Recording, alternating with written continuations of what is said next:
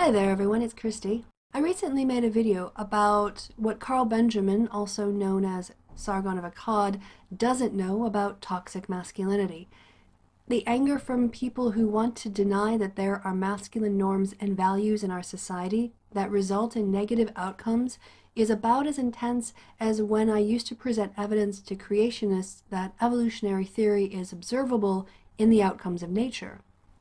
A recent article presents yet more evidence that certain aspects of Western notions of what it means to be a man and masculine result in negative outcomes for men and women. The authors of the research I'm going to cite themselves write, our meta-analyses demonstrate that three specific dimensions were significantly, robustly, consistently, and unfavorably associated with negative mental health, positive mental health, and psychological help seeking, self reliance, playboy, and power over women. The masculine norms of playboy and power over women are the norms most closely associated with sexist attitudes, although the masculine norm of playboy can apply to both heterosexuals and sexual minorities. The robust and unfavorable association between conformity to these two norms and mental health related outcomes underscores the idea that sexism is not merely a social injustice, but also has deleterious mental health related consequences for those who embrace such attitudes. For instance, heterosexual men who adhere strongly to norms associated with sexism might struggle in their relationships with women, leading to poor mental health. I'm just going to end the quote there so you know that it's not the authors talking anymore, it's me. Look, you're entitled to your own opinions, but you're not entitled to your own facts. So here is a challenge for those who doubt these findings. Go and read the article I will present in this video for yourself, and try to respond to it with counter evidence from published studies if you can. Just because you don't like the results of a study, that doesn't mean that it's wrong. Skeptics are to be led by the evidence, right? So here's the evidence. I'm going to present it in two sections. The first is a layman section where I'll cover a news story about the article, and then secondly, I will break down the article itself. Now that section is going to be a bit harder and a bit denser and use a lot of academic ideas. But if you are going to criticize the study, then you have to actually engage with the study, not just the media coverage reporting on it. And if you want to do a video response to me on this topic, again, you're not going to be responding to me. You're going to have to respond to the study. So if you want to criticize it, first you have to engage with it. Okay, are we ready for part one? Let's go. The authors of the study gave an interview to Popular Science, and the article reads, in the last three decades, social scientists and the broader public have examined the concept of toxic masculinity focusing on traditionally male attributes that many have come to see as harmful not only to women, but also to men and the fabric of society.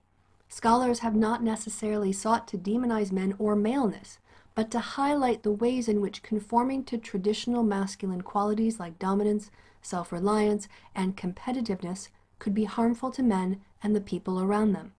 It would be remiss to approach this topic without recognizing the reality that, to many people, these qualities simply encompass what it means to be a man. Many believe that these traits are biologically ingrained and critical for the evolutionary success of our species. It's not hard to see the appeal of being self reliant, for example, being strong enough to best life's challenges without assistance. But putting too much stock in self reliance could also make it hard for a man to reach out for help in times of crisis or difficulty, as this research suggests. It can have a negative effect on men's mental health, especially if they think that any other course of action would emasculate them. In such a scenario, suffering in silence may appear to be the only acceptable option. Wang, one of the article's authors, says attitudes like this capture what's so problematic about these masculine norms. People may assume that they'll be looked down upon if they break out of this pattern of behavior, even if that's not actually true. But it doesn't have to be this way. In our increasingly connected world, in which people have access to so many ideas beyond what they might have been exposed to in the past, there are more opportunities than ever to expand one's cultural consciousness. And indeed, this research is not the first or last word on the concept of toxic masculinity. Many others have written on it and will no doubt continue to do so. And just because these harmful norms will probably continue to be passed on, that doesn't mean they're unavoidable. Wong says that being a man is not some sort of essential quality, and that ideas about what it means to be a man have changed throughout history. Masculine identity can even evolve for an individual over the course of his lifetime. Moving on now to the journal article, let's dig into their research and look at their findings. The title of the paper is Meta Analyses of the Relationship Between Conformity to Masculine Norms and Mental Health Related Outcomes, and it's authored by Wong, Ho, Wang, and Miller. Not the kind of typical feminist strawman that people on YouTube like to make fun of. The article starts with an introduction slash literature review.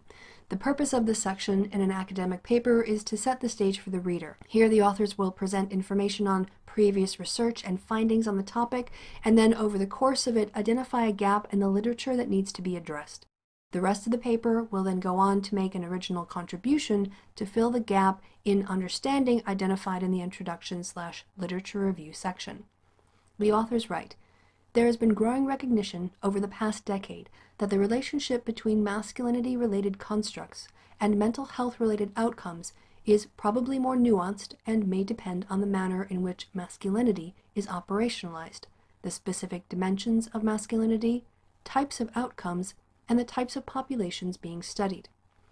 The gender role norms model, which focuses on individuals' conformity to dominant masculine norms in society, might provide an ideal forum for studying the differential effects of masculinities on mental health related outcomes.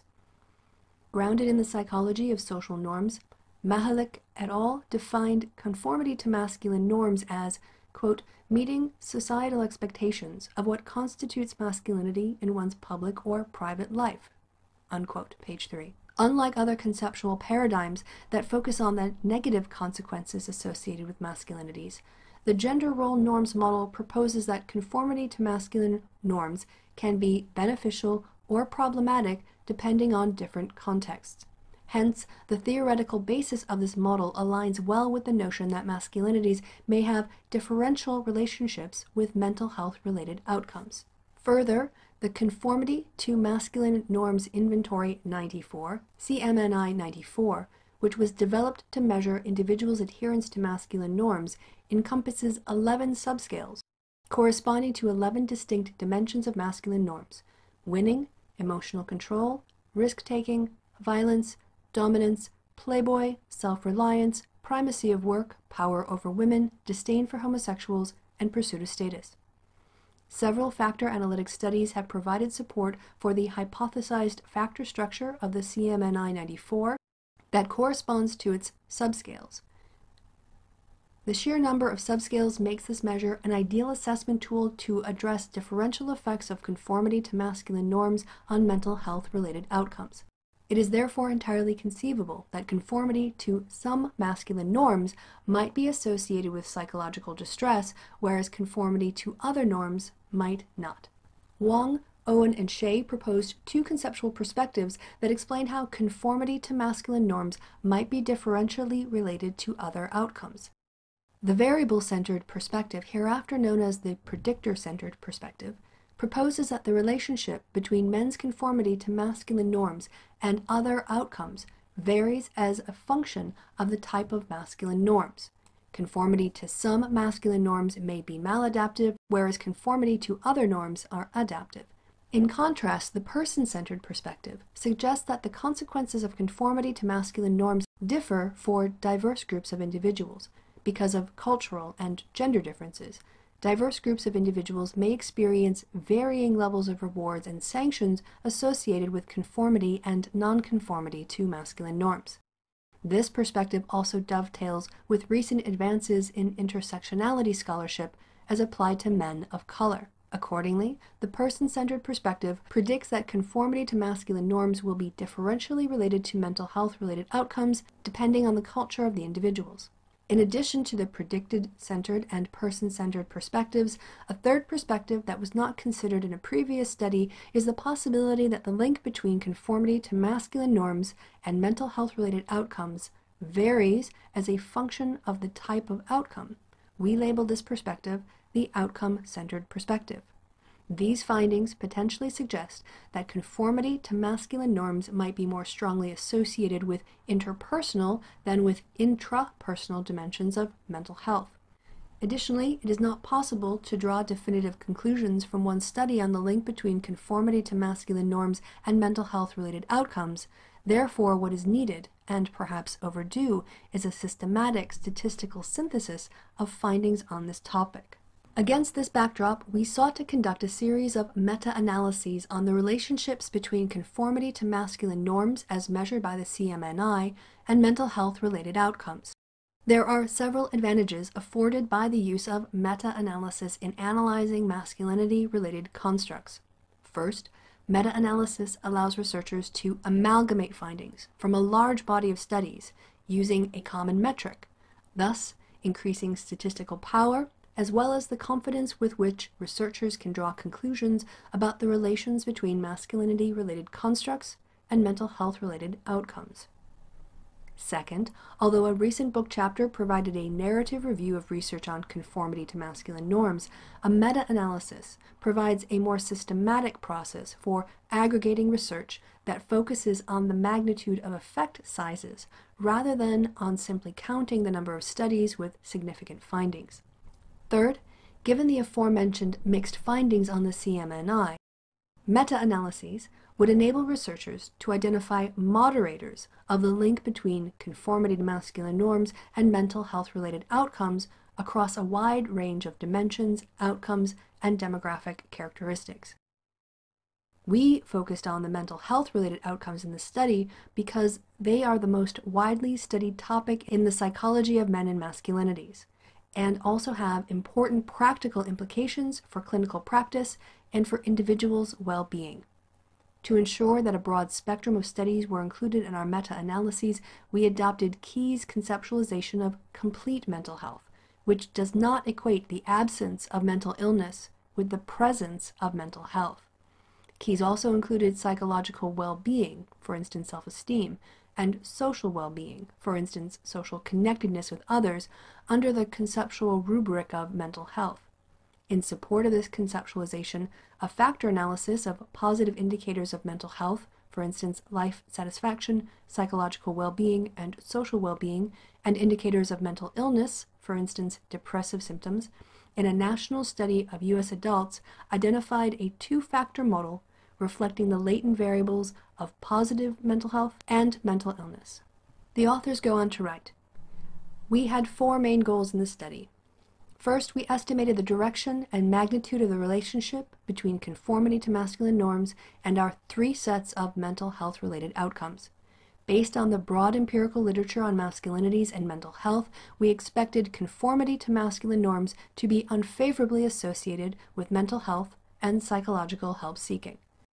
Second, based on the outcome centered perspective, we tested moderation effects of conformity to masculine norms using specific types of positive and negative mental health outcomes, for instance, depression, substance use, body image problems, etc. On the basis of the aforementioned findings of Mahalik et al., we hypothesized that conformity to masculine norms would be more strongly associated with negative social functioning and positive social well being than with psychological dimensions of health. Third, guided by the person centered perspective, we examined moderation effects of gender, race, age, and developmental characteristics, that is to say, college student status, and sexual orientation that might modify the relations between conformity to masculine norms and mental health related outcomes.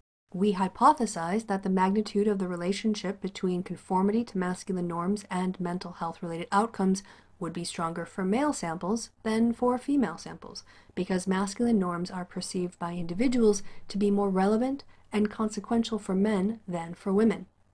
Additionally, we predicted the effect sizes would be weaker as the proportion of sexual minority individuals in the samples increase.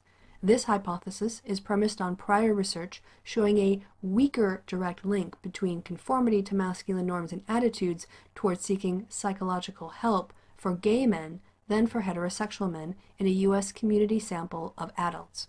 Fourth, As recommended by the predictor center perspective, we tested the relationship between each of the 11 dimensions of conformity to masculine norms and mental health related outcomes to identify potential differential effects as a function of the type of masculine norm.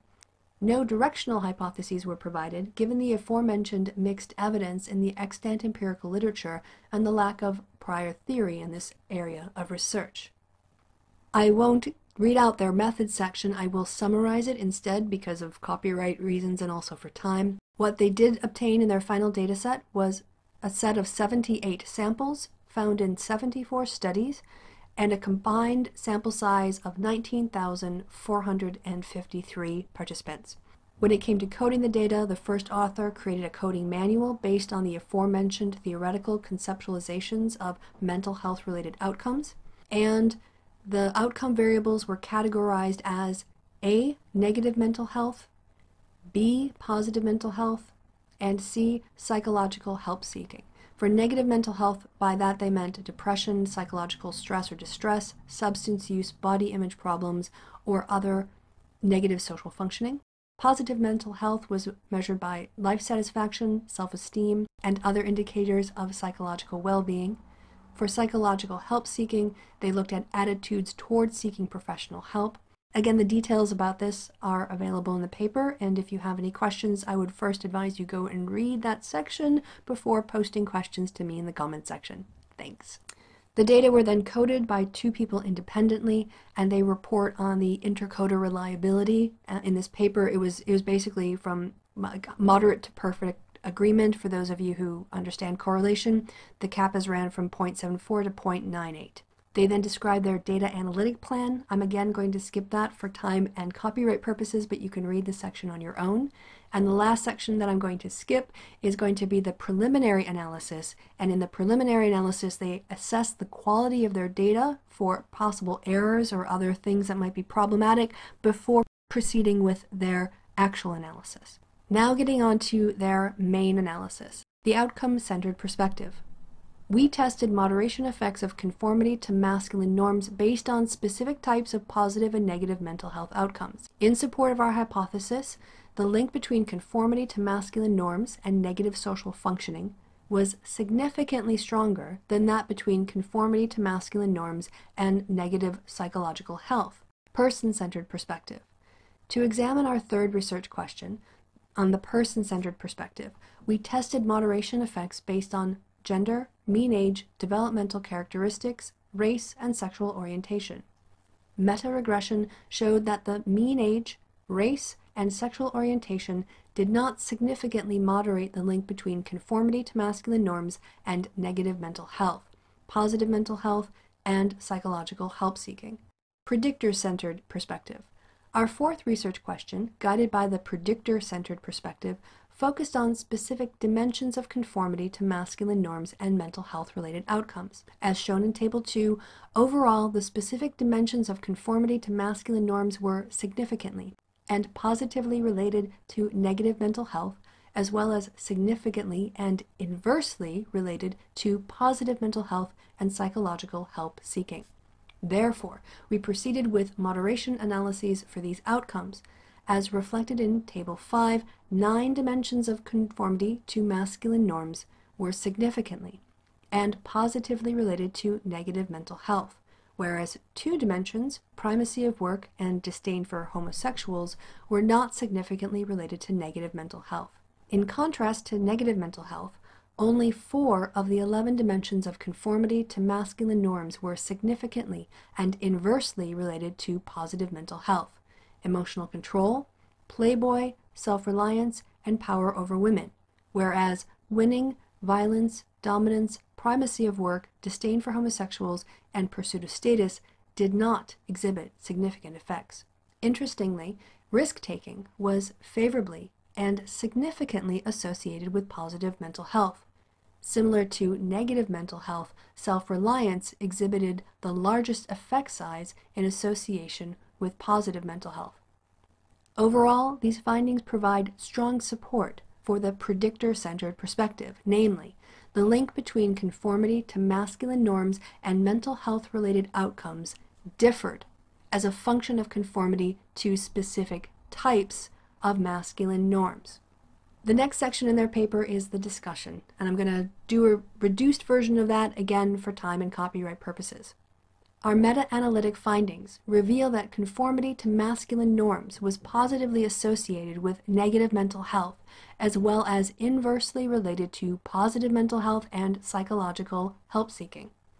These findings support previous assertions on the deleterious consequences associated with masculinities.